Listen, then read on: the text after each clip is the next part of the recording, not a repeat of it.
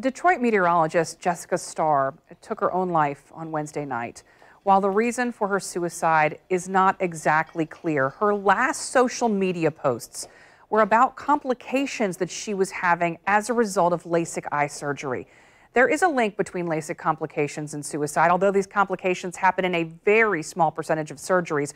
Joining us to talk this morning about avoidance, prevention, and management is Dr. Arun Gulani. He is an ophthalmologist with Gulani Vision here in Jacksonville. You know, I know when I called you yesterday to discuss this, um, one of the first things that you wanted to point out is this, this is something that is very rare. It very rarely happens. Correct.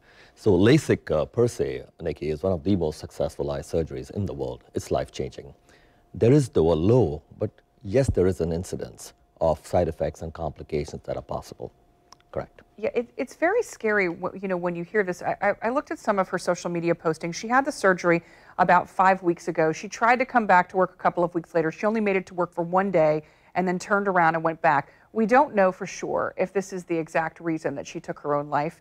Um, you know, a lot of her colleagues are speculating there was there was more to it. But like I said, you know, it really does bring this to light. So what are some of the things that we can do to avoid any of these complications with LASIK eye surgery? So prevention always is the most important thing that I talk and teach about. The most elegant uh, information we can convey here on this podium is there are over a dozen LASIK techniques.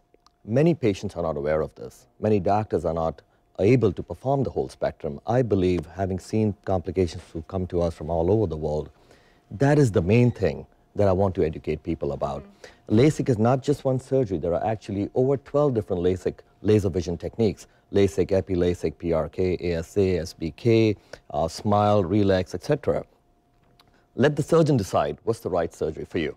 Now, from the surgeon's side, make sure that they don't do only one LASIK they should be able to provide the spectrum and hence design the surgery to you. Each eye is different.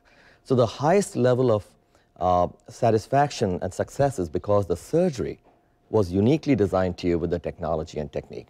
What would your advice be about how you know you're getting someone that is able to do these different surgeries and that's had, you know, a success rate and hasn't had any issues before? Absolutely. Nowadays, everything is so transparent with Google. The world is so small. So first and foremost is like I say, you know, go into the consultation with your eyes wide open, if I may, is look through the ads, look through the deals. Blindness at any bargain is not a great deal at all. So sit down, talk to your doctor, look eye to eye. The technique that you have selected for me, doctor, is that the best one for me? Why? Mm -hmm. What is the long-term implication of this if you're, let's say, in the future going to have cataract or presbyopia, reading glasses? And if something goes wrong, doctor, can you fix it? Well, and, and that's the next thing. If something does go wrong, if you have a complication from this, what, what can you do? I mean, can that be fixed? Yes. So the good news is most of the LASIK complications can be corrected back to 2020. That is possible. So I don't want people to lose hope, but again, prevention is so important. Look through the advertising, go uh, investigate, interview your surgeon, take your time. Don't do this at lunchtime, don't do this on the weekend. It's a very important life-changing decision.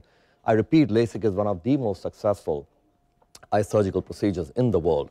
And it's very positive, though the incidence of side effects is very, very low. It is unfortunate if someone has that.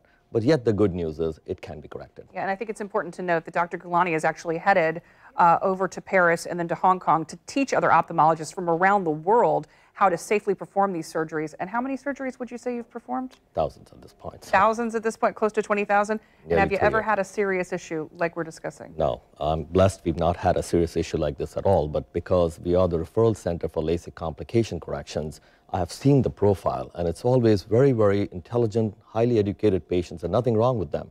It's just that there was some mis, uh, what do you call, uh, misalignment between how diligent the surgeon was in evaluating the patient, not just coming in quickly and doing surgery. Look at the anatomy, look at the physiology, plan the optics, sit down with the patient, then perform the surgery. And from the patient's point of view, is take your time, determine who your surgeon is. And you know, today you don't have to go to your surgeon just because he's in your backyard. You can fly anywhere for the and, best in the world. And do it. Thank you so much, Dr. Gulani. We, sure. we greatly appreciate it.